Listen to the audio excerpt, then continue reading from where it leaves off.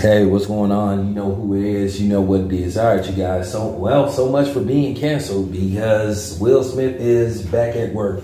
Apparently, Will Smith is filming some kind of project, possibly for Disney. It's some kind of miniseries. So, as I said before, I told you that Will Smith wasn't going to get canceled, and I told you that Will Smith was too big to be canceled because the slap alone brought notoriety and attention to the Oscars because basically nobody gave a damn about the Oscars. And he revived Chris Rock's ailing uh, comedic career because basically he was playing half empty shows, you know, where the audience, it was half empty shows.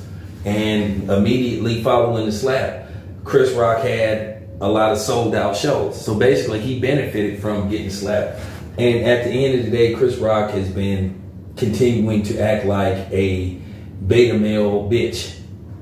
And the funny part was, you had people saying that he was an alpha male. Shit. If, if y'all think he an alpha male, then something is seriously wrong with you dudes. But nevertheless, uh, Will Smith appears to be back at work.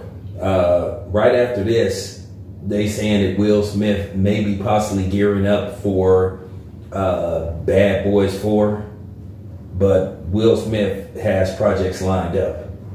And the projects that people thought he lost, well, they're starting to circle back around and asking him to appear in these movies.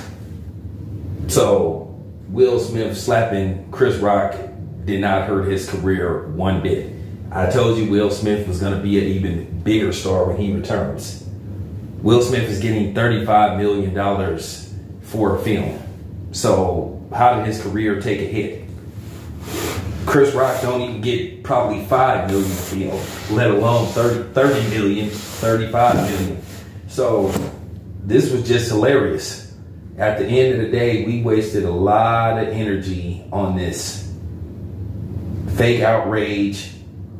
I, I, I mean, self-righteousness and just pure BS you know, but it is what it is. Um, it's good to see Will Smith back at work. It's good to see the man continuing with his career. So that's all I have to say. This your boy Town Biz. I'm out.